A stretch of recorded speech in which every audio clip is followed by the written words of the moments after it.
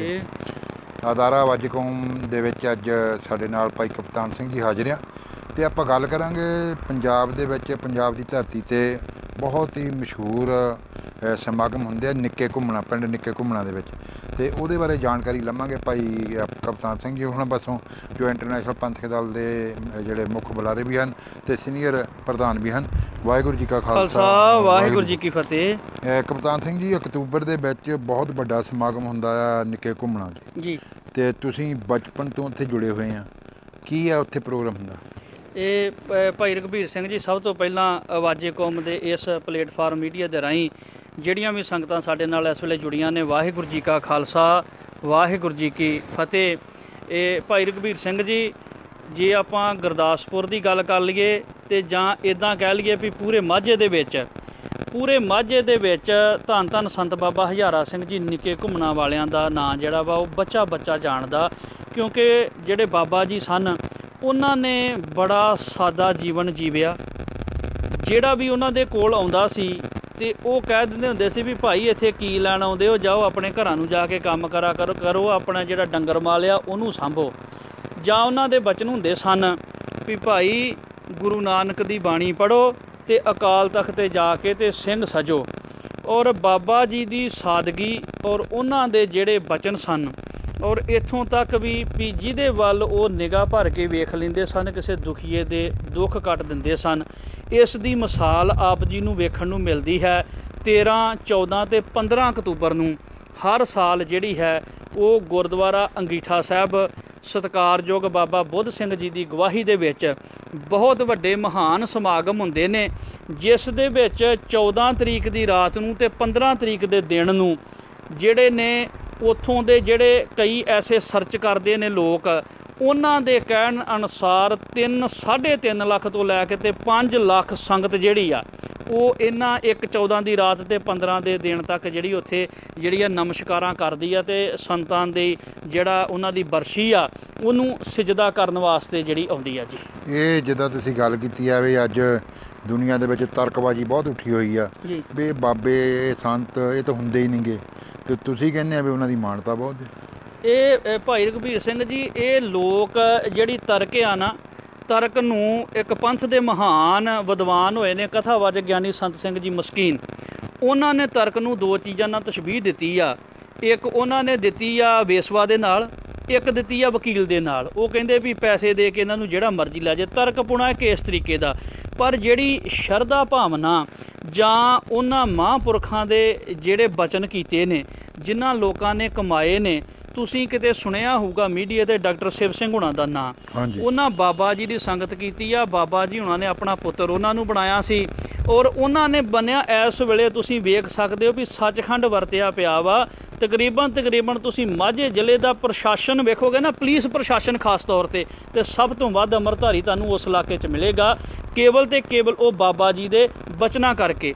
ਫਿਰ ਬਾਬਾ ਜੀ ਹੁਣਾਂ ਦਾ ਜਦੋਂ ਉਹਨਾਂ ਕੋਲ ਸੰਗਤਾਂ ਆਉਂਦੀਆਂ ਸਨ ਤੇ ਇੱਥੋਂ ਤੱਕ ਜਿਹੜਾ ਅਸੀਂ ਦੇਖਿਆ, ਤੱਕਿਆ ਵੀ ਉਹ ਸੰਗਤਾਂ ਦੇ ਆਨੰਦ ਕਾਰਜ ਕਰਕੇ ਤੇ ਸਾਈਕਲਾਂ ਤੇ ਤੋਰਦੇ ਹੁੰਦੇ ਸਨ ਡੋਲੀਆਂ।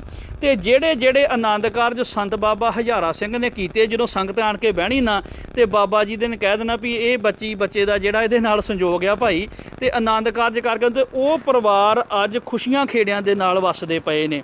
ਉਸੇ ਚੀਜ਼ ਨੂੰ ਅੱਗੇ ਤੋਰਦੇ ਹੋਇਆਂ ਅੱਜ ਵੀ ਸਤਿਕਾਰਯੋਗ ਬਾਬਾ ਬੁੱਧ ਸਿੰਘ ਜੀ ਅੰਗੀਠਾ ਸਾਹਿਬ ਅਸਥਾਨ ਦੇ ਉੱਤੇ ਹਰ ਸੈਚਰਡੇ ਤੇ ਸੰਡੇ ਆਮ ਦਿਨਾਂ 'ਚ ਵੀ 6-6 7-7 ਆਨੰਦ ਕਾਰਜ ਰੋਜ਼ ਉਥੇ ਸਾਦੇ ਤਰੀਕੇ ਦੇ ਨਾਲ ਹੁੰਦੇ ਆ।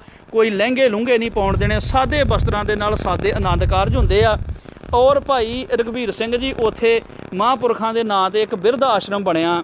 ਮੈਂ ਉਥੇ ਦਾਸ ਨੇ ਆਪ ਅੱਖੀ ਜਾ ਜਾ ਕੇ ਵੇਖਿਆ। ਉੱਥੇ ਕ੍ਰਿਸਚਨ ਲੋਕ ਵੀ ਰਹਿੰਦੇ ਨੇ, ਉਸ ਆਸ਼ਰਮ 'ਚ ਹਿੰਦੂ ਵੀ ਰਹਿ ਰਹੇ ਨੇ, ਉਸ ਆਸ਼ਰਮ 'ਚ ਇੱਕ ਵਾਰੀ ਇੱਕ ਮੁਸਲਮਾਨ ਵੀਰ ਵੀ ਸੀ। ਪਰ ਉਹਨਾਂ ਨੂੰ ਇਹ ਨਹੀਂ ਵੀ ਇਹ ਗੁਰਦੁਆਰੇ 'ਚ ਆਸ਼ਰਮ ਹੈ ਤਾਂ ਤੁਸੀਂ ਗੁਰਬਾਣੀ ਪੜੋ ਜਾਂ ਗੁਰੂ ਗ੍ਰੰਥ ਸਾਹਿਬ ਨੂੰ ਮੱਥਾ ਟੇਕੋ, ਉਹਨਾਂ ਨੇ ਆਪਣੇ ਕਮਰੇ 'ਚ ਕਿਸੇ ਨੇ ਗੀਤਾ ਰੱਖੀ ਆ, ਕਿਸੇ ਨੇ ਬਾਈਬਲ ਰੱਖੀ ਆ, ਕਿਸੇ ਨੇ ਕੁਰਾਨ ਰੱਖੀ ਆ ਵੀ ਤੁਸੀਂ ਆਪਣੇ ਧਰਮ 'ਚ ਪੱਕੇ ਰਹੋ, ਆਪਣੇ ਧਰਮ ਨੂੰ ਮੰਨੋ ਤੇ ਵਧੀਆ ਉਹਨਾਂ ਨੂੰ ਜਿਹੜੀ ਰਹਿائش ਆ ਖੁੱਲੇ ਕਮਰੇ, ਸਾਰੀਆਂ ਸਹੂਲਤਾਂ ਜਿਹੜੀਆਂ ਉਹ ਦਿੱਤੀਆਂ ਜਾ ਰਹੀਆਂ। ਬਹੁਤ ਵੱਡੇ ਪੱਧਰ ਦੇ ਮੈਡੀਕਲ ਕੈਂਪ ਵੀ ਲੱਗਦੇ ਨੇ। ਜਿਹੜੇ ਕਿ 13 ਤਰੀਕ ਤੋਂ ਹੀ ਸਟਾਰਟ ਹੋ ਜਾਂਦੇ ਨੇ ਤੇ ਇਹ ਜਿਹੜੇ ਸਮਾਗਮ ਨੇ ਇਹ ਸਮਾਗਮ ਇੱਕ ਦੁਨੀਆ 'ਚ ਮਿਸਾਲ ਬਣਦੇ ਨੇ, ਜਿੰਨਾ ਪ੍ਰਚਾਰ ਜਿਹੜਾ ਉੱਥੇ ਹੋ ਰਿਹਾ, ਜਿਸ ਦੇ ਵਿੱਚ ਤਖਤ ਸਾਹਿਬਾਨਾਂ ਦੇ ਸਿੰਘ ਸਾਹਿਬ ਵੀ ਪਹੁੰਚਦੇ ਨੇ, ਦਮਦਮੀ ਟਕਸਾਲ ਦੇ ਮੁਖੀ ਸੰਤ ਬਾਬਾ ਹਰਨਾਮ ਸਿੰਘ ਜੀ, ਪੂਰਾ ਸੰਤ ਸਮਾਜ ਔਰ ਜਿਹੜੇ ਸ਼ਹੀਦ ਪਰਿਵਾਰ ਨੇ, ਖਾਸ ਕਰਕੇ ਜਿਹੜਾ ਅਗਵਾਨਾ ਵਾਲਾ ਪਰਿਵਾਰ ਆ ਉਸ ਜ਼ਿਲ੍ਹੇ ਦੇ ਵਿੱਚ ਉਹ- ਜਿੰਨੇ ਵੀ ਸ਼ਹੀਦ ਪਰਿਵਾਰ ਨੇ ਦਿੱਲੀ ਤੋਂ ਭਾਈ ਸਤਵੰਤ ਸਿੰਘ ਹੁਣੀ, ਭਾਈ ਕੇਰ ਸਿੰਘ ਹੁਣਾਂ ਦਾ ਪਰਿਵਾਰ ਤੇ ਉਹ ਪਰਿਵਾਰ ਵੀ ਜਿਹੜੇ ਨੇ, ਸ਼ਹੀਦ ਪਰਿਵਾਰ ਵੀ ਵੱਡੇ ਤੌਰ ਤੇ ਉੱਥੇ ਪਹੁੰਚਦੇ ਨੇ ਤੇ ਬਾਕੀ ਸੰਗਤਾਂ ਮੀਡੀਆ ਦੇ ਜ਼ਰੀਏ ਦੇਖਦੀਆਂ ਨੇ ਕਿਤੇ ਤਿਲ ਸੁੱਟਣ ਜੋਗੀ ਜਗ੍ਹਾ ਨਹੀਂ ਰਹਿੰਦੀ ਇਹਨਾਂ ਦਿਨਾਂ ਦੇ ਵਿੱਚ ਔਰ ਇਲਾਕੇ ਦੇ ਵਿੱਚ ਇੱਕ ਵਾਰੀ ਇਸ ਸਮਾਗਮਾਂ ਦਾ ਇੱਕ ਮੈਂ ਹੋਰ ਗੱਲ ਕਰਦਿਆਂ ਤਕਰੀਬਨ ਤਕਰੀਬਨ ਤੁਸੀਂ ਆਮ ਵੇਖੋਗੇ ਕਿਸੇ ਸਮਾਗਮ ਦੀ ਸਰਕਾਰੀ ਛੁੱਟੀ ਨਹੀਂ ਹੁੰਦੀ, ਪਰ 15 ਅਕਤੂਬਰ ਨੂੰ ਸੰਤ ਬਾਬਾ ਹਜ਼ਾਰਾ ਸਿੰਘ ਜੀ ਬਰਸੀ ਦੇ ਉੱਤੇ ਜਿਹੜੀ ਆ ਉਹ ਪੰਜਾਬ ਦੇ ਵਿੱਚ, ਇਹਨਾਂ ਜ਼ਿਲ੍ਹਿਆਂ ਦੇ ਵਿੱਚ, ਮਾਝੇ ਦੇ ਵਿੱਚ ਜਿਹੜੀ ਉਹ ਸਰਕਾਰੀ ਛੁੱਟੀ ਐਲਾਨੀ ਹੋਈ ਆ। ਕਿੰਨੇ ਚਿਰ ਤੋਂ ਚੱਲ ਰਹੀ? ਇਹ ਤਕਰੀਬਨ ਤਕਰੀਬਨ ਮੇਰੇ ਖਿਆਲ ਪਿਛਲੇ ਕੋਈ 8-10 ਸਾਲਾਂ ਤੋਂ 10-15 ਸਾਲਾਂ ਤੋਂ ਚੱਲ ਰਹੀ ਆ ਜੀ। ਚੱਲ ਰਹੀ। ਇਹ ਜਿੱਦਾਂ ਇਹਦੀ ਗੱਲ ਕੀਤੀ ਜਿੱਦਾਂ ਸਮਾਜ ਦੇ ਤੁਸੀਂ ਕਿਹਾ ਕੰਮ ਬਹੁਤ ਵਧੀਆ ਕਰਦੇ ਸੀ। ਜੀ। ਗੌਰਮੈਂਟ ਤੌਰ ਤੇ ਵੀ ਆ ਕਿਸੇ ਨੂੰ ਧਰਮ ਜਿਹੜੇ ਬਿਰਧ ਆਸ਼ਰਮ ਆ ਉਹਦੇ ਵਿੱਚ ਵੀ ਕਿਸੇ ਤੇ ਕੋਈ ਪਾਬੰਦੀ ਨਹੀਂ ਗੀ। ਇਹ ਤਾਂ ਜੋ ਗੁਰੂ ਨਾਨਕ ਦੇਵ ਜੀ ਦਾ ਮਿਸ਼ਨ ਆ ਉਹ ਤੇ ਕੰਮ ਕਰਦੇ ਆ। ਤੇ ਜਿੱਦਾਂ ਹੁਣ ਇਹ ਤਾਂ ਬਾਬਾ ਹਜ਼ਾਰਾ ਸਿੰਘ ਹੁਣੀ ਪਹਿਲਾਂ ਕਰਦੇ ਜਿੱਦਾਂ ਹੁਣ ਤੁਸੀਂ ਬਾਬਾ ਬੁੱਧ ਸਿੰਘ ਉਹਨਾਂ ਦੀ ਵੀ ਗੱਲ ਕੀਤੀ ਆ ਉਹਨਾਂ ਦੀ ਕਿੰਨੀ ਕਮਾਨਤਾ ਹੈ? ਵੇਖੋ ਜੀ ਬਾਬਾ ਬੁੱਧ ਸਿੰਘ ਹੁਣੀ ਜਿਹੜੇ ਆ ਉਹ ਇੱਕ ਉਸ ਸਥਾਨ ਦੇ ਮੁੱਖ ਸੇਵਾਦਾਰ ਹੋਣ ਦੇ ਨਾਤੇ ਉੱਥੇ ਉਹ ਸੇਵਾ ਕਰਾ ਰਹੇ ਨੇ। ਕਦੀ ਉਹਨਾਂ ਸੰਗਤਾਂ ਕੋਲੋਂ ਇਹ ਨਹੀਂ ਸਮਝਿਆ ਵੀ ਉਹ ਬਾਬਾ ਗੱਦੀ ਦੇ ਉੱਤੇ ਨੇ ਜਾਂ ਸੰਤਾਂ ਸੰਗਤਾਂ ਜਿਹੜੀਆਂ ਮੱਥਾ ਟੋਕਣ ਗੁਰੂ ਗ੍ਰੰਥ ਸਾਹਿਬ ਨਾਲ ਜੋੜਦੇ ਨੇ, ਅਮਰ ਸੰਚਾਰ ਬਹੁਤ ਕਰਾਉਂਦੇ ਨੇ ਔਰ ਇੱਥੋਂ ਤੱਕ ਜਿਹੜੀਆਂ ਉਹ ਇਲਾਕੇ ਦੀਆਂ ਸੰਗਤਾਂ ਨੇ, ਤਕਰੀਬਨ ਦੁਨੀਆ ਦੇ ਵਿੱਚ ਵਿਚਰਦਿਆਂ ਕਿਸੇ ਵੀ ਤਰੀਕੇ ਦਾ ਕਿਸੇ ਨੂੰ ਕੋਈ ਸਹੂਲਤ ਚਾਹੀਦੀ ਆ, ਕੋਈ ਜ਼ਰੂਰਤ ਆ, ਕਿਸੇ ਨੂੰ ਕੋਈ ਵੀ ਲੋੜ ਆ ਤੇ ਹਮੇਸ਼ਾ ਹੀ ਬਾਬਾ ਜੀ ਜਿਹੜੇ ਨੇ ਉਹ ਤਤਪਰ ਰਹਿੰਦੇ ਨੇ ਸੰਗਤਾਂ ਦੀ ਸੇਵਾ ਵਾਸਤੇ ਤੇ ਸਤਿਕਾਰਯੋਗ ਬਾਬਾ ਬੁੱਧ ਸਿੰਘ ਹੁਣਾਂ ਦਾ ਵੀ ਇਹੋ ਹੀ ਜਿਹੜਾ ਮਿਸ਼ਨ ਆ ਵੀ ਜਿਹੜੀਆਂ ਸੰਗਤਾਂ ਨੇ ਉਹਨਾਂ ਨੂੰ ਗੁਰੂ ਗ੍ਰੰਥ ਸਾਹਿਬ ਦੇ ਨਾਲ ਤੇ ਸ੍ਰੀ ਅਕਾਲ ਤਖਤ ਸਾਹਿਬ ਦੇ ਨਾਲ ਤੇ ਬਾਣੀ ਬਾਣੇ ਦੇ ਨਾਲ ਜੋੜਿਆ ਜਾਵੇ ਤੇ ਵੱਧ ਤੋਂ ਵੱਧ ਪ੍ਰਚਾਰ ਕਰਾ ਕੇ ਇਹਦੇ 13 14 15 ਅਕਤੂਬਰ ਦੇ ਸੰਤ ਬਾਬਾ ਹਜ਼ਾਰਾ ਸਿੰਘ ਜੀ ਬਰਸੀ ਨੂੰ ਸਮਰਪਿਤ ਸਮਾਗਮ ਹੁੰਦੇ ਨੇ ਤੇ ਉਦਾਂ ਵੀ ਸਾਲ ਦੇ ਵਿੱਚ ਤਕਰੀਬਨ ਉਥੇ ਬਹੁਤ ਵੱਡੇ ਜਿਹੜੇ 3-4 ਸਮਾਗਮ ਉਥੇ ਜਿਹੜੇ ਨੇ ਬਹੁਤ ਵੱਡੇ ਹੁੰਦੇ ਨੇ ਤੇ ਤਕਰੀਬਨ ਹੀ ਤੁਸੀਂ ਕਿਤੇ ਐਤਵਾਰ ਵਾਲੇ ਦਿਨ ਜਾਓ ਤੇ ਐਤਵਾਰ ਵਾਲੇ, ਹਰ ਐਤਵਾਰ ਵਾਲੇ ਦਿਨ ਹੀ ਉਥੇ ਬਹੁਤ ਵੱਡਾ ਜਿਹੜਾ ਸਮਾਗਮ ਹੁੰਦਾ, ਇਲਾਕੇ ਦੀਆਂ ਜਿਹੜੀਆਂ ਸੰਗਤਾਂ ਨੇ ਬਹੁਤ ਵੱਡੀ ਗਿਣਤੀ ਦੇ ਵਿੱਚ ਉਥੇ ਹਾਜ਼ਰੀ ਭਰਦੀਆਂ ਨੇ। ਹਰ ਐਤਵਾਰ ਸੰਗਤਾਂ ਜਿਹੜੀਆਂ ਨੇ, ਉਹ ਬਾਬਾ ਜੀ ਨੂੰ ਨਮਸਕਾਰ ਕਰਨ ਜਾਂਦੀਆਂ ਨੇ। ਸਿਰਫ ਇਸੇ ਕਰਕੇ ਹੀ ਕਿ ਬਾਬਾ ਜੀ ਹੁਣਾਂ ਦੇ ਵੇਲੇ ਮੈਂ ਬਹੁਤ ਛੋਟਾ ਸਾਂ, ਉਦੋਂ ਆ ਫੀਐਡ ਕਾਰਾਂ ਹੁੰਦੀਆਂ ਸੀਗੀਆਂ। ਤੇ ਬਾਬਾ ਜੀ ਕੋ ਕਿਸੇ ਨੇ ਜੇ ਕਾਰ ਲੈ ਕੇ ਆ ਜਾਣਾ ਵੀ ਕਾਰ 'ਚ ਬਹੁ, ਕਿਉਂਕਿ ਅੱਜ ਕੀ ਗੱਲਬਾਤ ਹੋ ਗਈ? ਅੱਜ ਇਹ ਬਾਬਿਆਂ ਨੂੰ ਇੱਕ ਜਿਹੜੀਆਂ ਵੱਡੀਆਂ ਗੱਡੀਆਂ ਜਾਂ ਇਦਾਂ ਦੀਆਂ ਚੀਜ਼ਾਂ ਤੇ ਵੀ ਲੋਕ ਜਿਹੜੇ ਨਾ ਤਰਕ ਕਰਦੇ। ਪਰ ਬਾਬਾ ਜੀ ਕੋ ਜੇ ਕੋਈ ਕਾਰ ਲੈ ਕੇ ਆ ਜਾਂਦਾ ਹੁੰਦਾ ਤੇ ਬਾਬਾ ਜੀ ਸਾਈਕਲ ਤੇ ਕਹਿੰਦੇ ਹੁੰਦੇ ਸੀ ਸਿੰਘੋ ਘੋੜਾ ਲਿਆਓ।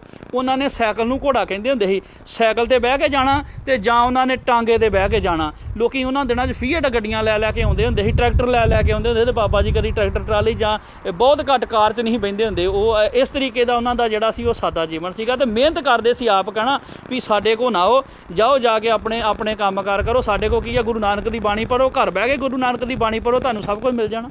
ਤੇ ਜਿਵੇਂ ਹੁਣ 13 14 15 ਨੂੰ ਸਮਾਗਮ ਹੋ ਰਿਹਾ ਆ ਵਿਦੇਸ਼ਾਂ ਤੋਂ ਵੀ ਸੰਗਤਾਂ ਜਾਂਦੀਆਂ ਜੀ। ਆਵਾਜ਼ੇ ਕੌਮ ਟੀਵੀ ਰਾਹੀਂ ਕੀ ਸੁਨੇਹਾ ਦੇਣਾ ਚਾਹੁੰਦੇ? ਤੇ ਮੈਂ ਸਮੁੱਚੀਆਂ ਸੰਗਤਾਂ ਨੂੰ ਸਤਿਕਾਰਯੋਗ ਬਾਬਾ ਬੁੱਧ ਸਿੰਘ ਜੀ ਦੀ ਰਹਿਨਮਾਈ ਹੇਠ ਜਿਹੜਾ ਇਹ ਸਮਾਗਮ ਹੋ ਰਿਹਾ ਮੈਂ ਦੇਸ਼ਾਂ ਵਿਦੇਸ਼ਾਂ ਦੀਆਂ ਸੰਗਤਾਂ ਨੂੰ ਬੇਨਤੀ ਕਰਦਾ ਕਿ 13 14 ਤੇ 15 ਅਕਤੂਬਰ 2018 ਨੂੰ ਛੋਟੇ ਘੁੰਮਣ ਜ਼ਿਲ੍ਹਾ ਗੁਰਦਾਸਪੁਰ ਨੇੜੇ ਬਟਾਲਾ ਵਿਖੇ ਜਿਹੜਾ ਉਹ ਪਹੁੰਚੋ ਜੀ ਤੇ ਇਹਨਾਂ ਸਮਾਗਮਾਂ 'ਚ ਹਾਜ਼ਰੀ ਭਰ ਕੇ ਇਲਾਹੀ ਗੁਰਬਾਣੀ ਦੇ ਕੀਰਤਨ ਕਵਿਸ਼ਰੀ ਤੇ ਢਾਡੀ ਵਾਰਾਂ ਦੇ ਨਾਲ ਜਿਹੜੇ ਜਥੇ ਆਣ ਕੇ ਨਿਹਾਲ ਕਰਨਗੇ ਤੇ ਆਪੋ ਆਪਣੀਆਂ ਹਾਜ਼ਰੀਆਂ ਭਰ ਕੇ ਲਾਹਾ ਖਟੀਏ। ਇੱਕ ਬਚਨ ਮੈਂ ਅਖੀਰ ਤੇ ਭਾਈ ਰਘਬੀਰ ਸਿੰਘ ਦੀ ਕਰਦਾ ਜਾਵਾਂ।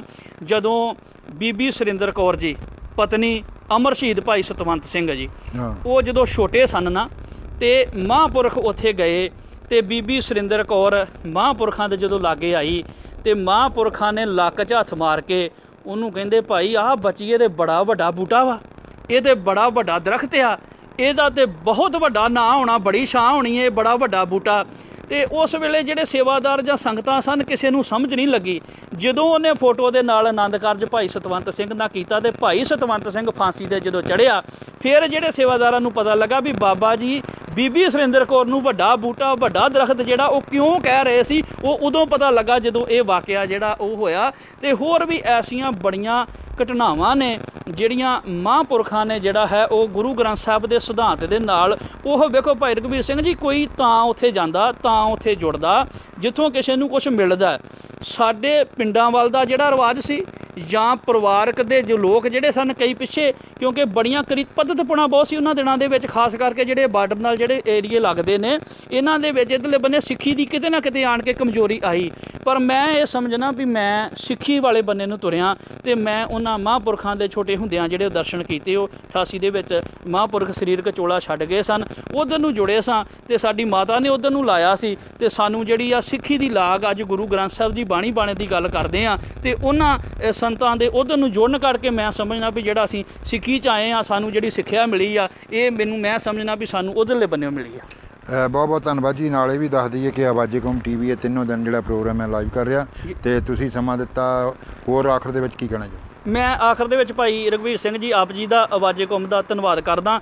ਸੰਗਤਾਂ ਨੂੰ ਬੇਨਤੀ ਕਰਦਾ ਕਿ ਇਸ ਮੀਡੀਆ ਦੀ ਵੀ ਵੱਧ ਤੋਂ ਵੱਧ ਜਿਹੜਾ ਉਹ ਸਹਿਯੋਗ ਕਰੋ ਤੇ ਜਿਹੜੀਆਂ ਮਾਝੇ ਦੇ ਏਰੀਏ ਦੀਆਂ ਸੰਗਤਾਂ ਜਾਂ ਦੇਸ਼ਾਂ ਵਿਦੇਸ਼ਾਂ ਦੀਆਂ ਸੰਗਤਾਂ ਜਿਹੜੀਆਂ ਨੇ 13 14 15 ਅਕਤੂਬਰ ਨੂੰ ਜਿਹੜੀਆਂ ਵਿਦੇਸ਼ਾਂ ਚੋਂ ਇੰਡੀਆ ਜਾ ਰਹੀਆਂ। ਇਹ ਭਾਈ ਬਘੇਲ ਸਿੰਘ ਜੀ ਸਪੇਨ ਤੋਂ ਬੜੇ ਸਿੰਘ ਜਾ ਰਹੇ ਨੇ ਇਟਲੀ ਤੋਂ ਬੜੇ ਸਿੰਘ ਜਾ ਰਹੇ ਨੇ ਔਰ ਦਾਸ ਵੀ ਜਾ ਰਿਹਾ ਔਰ ਇੰਗਲੈਂਡ ਤੋਂ ਹੋਰ ਵੀ ਸਿੰਘ ਜਿਹੜੇ ਨੇ, ਉਹ ਇਹਨਾਂ ਸਮਾਗਮਾਂ ਦੇ ਵਿੱਚ ਜਿਹੜੇ ਉਹ ਪਹੁੰਚ ਰਹੇ ਨੇ ਔਰ ਸਮੁੱਚੀਆਂ ਸੰਗਤਾਂ ਨੂੰ ਜਿਹੜਾ ਅਸੀਂ ਹੱਥ ਜੋੜ ਕੇ ਨਿਮਰਤਾ ਸਹਿਤ ਬੇਨਤੀ ਕਰਦੇ ਇਹਨਾਂ ਸਮਾਗਮਾਂ ਦੇ ਵਿੱਚ ਵੱਧ ਤੋਂ ਵੱਧ ਪਹੁੰਚੋ ਜੀ ਤਾਂ ਕਿ ਗੁਰੂ ਗ੍ਰੰਥ ਸਾਹਿਬ ਜੀ ਦੇ ਨਾਲ ਬਾਣੀ ਬਾਣੇ ਦੇ ਸਿਧਾਂਤ ਦੇ ਨਾਲ ਜੁੜ ਕੇ ਰਲ ਮਿਲ ਕੇ ਹੋ ਇਕੱਤਰ ਮਿਲੋ ਮੇਰੇ ਭਾਈ ਦੁਬਦਾ ਦੂਰ ਕਰੋ ਲਿਵਲਾਏ ਹਰ ਨਾਮੇ ਕੇ ਹੋਵੋ ਜੋੜੀ ਗੁਰਮੁਖ ਬੈਸੋ ਸਫਾ ਵਸਾਏ ਰਲ ਮਿਲ ਕੇ ਸਾਂਝਾ ਕਰ ਸਕੀਏ ਜੀ। ਬਹੁਤ ਬਹੁਤ ਧੰਨਵਾਦ ਜੀ ਕਪਤਾਨ ਸਿੰਘ ਜੀ ਟਾਈਮ ਦੇਣ ਦਾ। ਸਾਡੇ ਵੱਲੋਂ ਵੀ ਬੇਨਤੀ ਆ ਅਦਾਰਾ ਵਾਜੇ ਕੌਮ ਵੱਲੋਂ ਸੰਗਤਾਂ ਜ਼ਰੂਰ ਜਿੱਥੇ ਵੀ ਧਾਰਮਿਕ ਸਮਾਗਮ ਹੁੰਦੇ ਉੱਥੇ ਪਹੁੰਚਣ ਤੇ ਗੁਰੂ ਦੀਆਂ ਖੁਸ਼ੀਆਂ ਪ੍ਰਾਪਤ ਕਰਨ। ਮਿਹਰਬਾਨੀ ਜੀ ਵਾਹਿਗੁਰੂ ਜੀ ਕਾ ਖਾਲਸਾ ਵਾਹਿਗੁਰੂ ਜੀ ਕੀ ਫਤਿਹ।